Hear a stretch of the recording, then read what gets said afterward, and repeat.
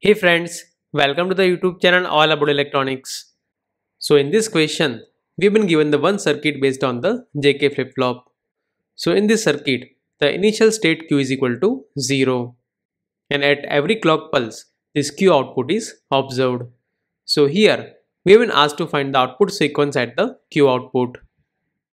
So in this circuit as you can see, the K input is connected to the 1 while the Q bar output is connected to the J input.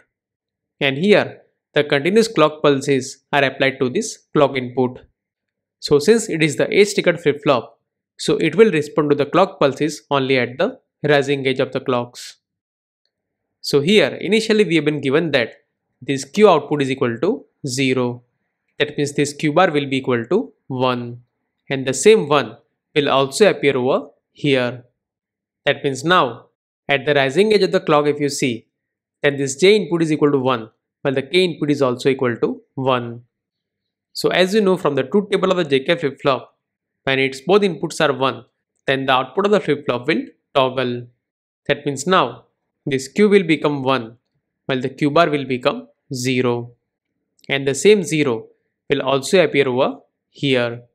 So now at the next rising edge if you see then this J is 0 while the K is equal to 1 and therefore the flip-flop will get reset to 0. That means now this Q will become 0 while the Q bar will become 1 and the same 1 will once again appear over here. That means now if you see then this J input is 1 while the K input is also equal to 1.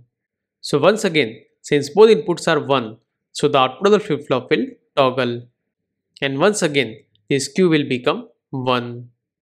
So as you can see at the every clock transition the output of the flip-flop is toggling. That means if we see the sequence at this Q output then it will be like 101010 and therefore for the given question this D is the correct answer.